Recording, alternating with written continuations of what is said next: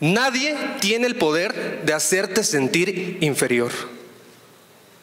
Compañeros congresistas, diputadas, diputados, medios de comunicación, ciudadanos, personas que nos acompañan a través de redes sociales.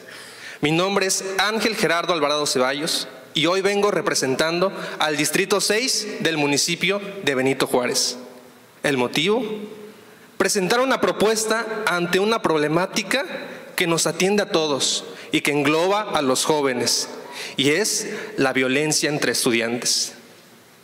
Agredir, desprestigiar, atemorizar no se limita solamente a tocar a una persona. El ciberacoso implica agredir a alguien sin la necesidad de tener contacto físico. Es así como la violencia entre estudiantes ahora se da por medio del espacio digital. Un problema que se propaga a través de redes sociales y que transgrede la armonía en las escuelas. 2.9 millones de menores comprendidos entre los 12 y los 17 años de edad han sufrido esta problemática. Aunado a eso, el Instituto Nacional de Estadística y Geografía asegura esta información con un contundente 22.6% cifra que corresponde a este rango de edad de personas que han sufrido esta problemática. En la ley concerniente se menciona lo que hace la Secretaría de Educación y la Secretaría de Salud, pero el tema aún debe reforzarse y debe hacerse pronto. Y qué mejor que con una unidad que se especialice en el entorno digital. Es así como la unidad de policía cibernética puede intervenir, pero no para reprender, sino para anticiparse ante esta problemática.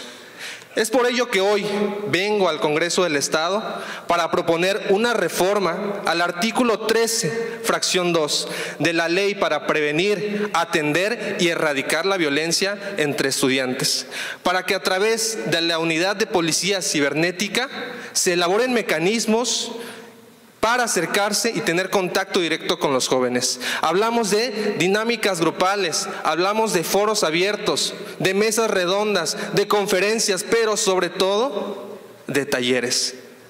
Talleres en donde se enseña a los jóvenes cómo usar responsablemente estas tecnologías de la información.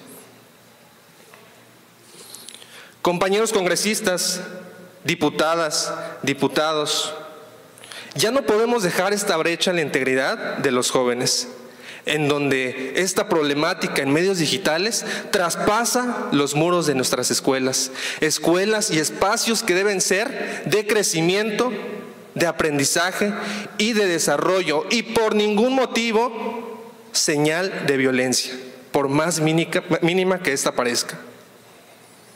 Sigamos adaptándonos a los cambios que nos ofrece la tecnología, pero hagámoslo de manera responsable, hagámoslo para estar unidos, hagámoslo para buscar la armonía que tanto anhelamos y para seguir forjando a las y los estudiantes de nuestro estado Quintana Roo. Es cuanto.